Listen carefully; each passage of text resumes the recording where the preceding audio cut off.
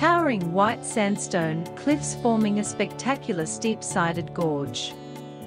Lush side gorges. A boulder-strewn creek continuously winding through the gorge. The home of ancient plants, animals and above all, a wealth cultural and natural heritage. This is Carnarvon Gorge, a natural monument to the power of water, wind and time. Located 600 kilometers northwest of Brisbane, the precipice sandstone layer was deposited under the sea 200 millions of years ago. After emerging from the sea it was eroded by the creek during the last 27 million years. The water filters throughout the sandstone layer taking 5 to 10,000 years to pass, feeding the creek.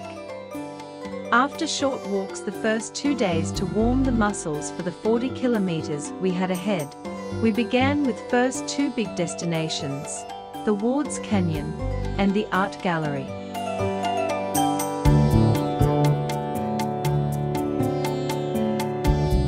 Wards Canyon is his home to the king fern, the largest in Australia.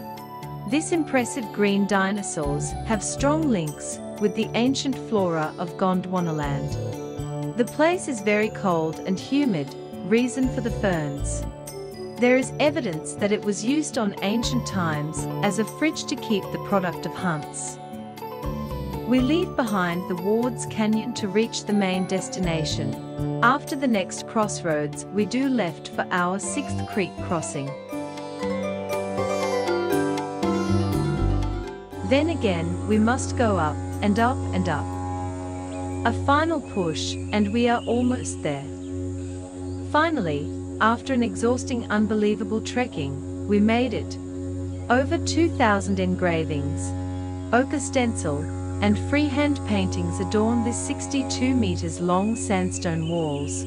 Excavations in a cave revealed occupational evidence dating back 19,500 years.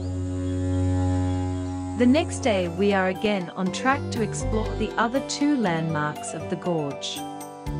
The Moss Garden and the Amphitheatre, a 12 kilometer round trip.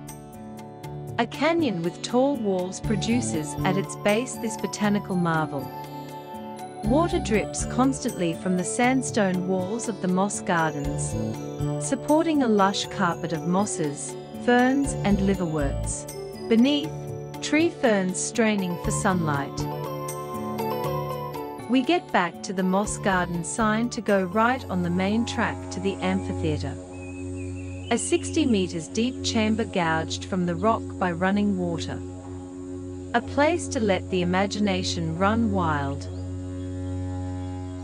Sitting quietly in this amazing place, you can imagine being the first person to discover this geological marvel. Resounding acoustics add to the awe-inspiring atmosphere within its borders, a place to behold. Walking throughout time, that is what Carnarvon is all about.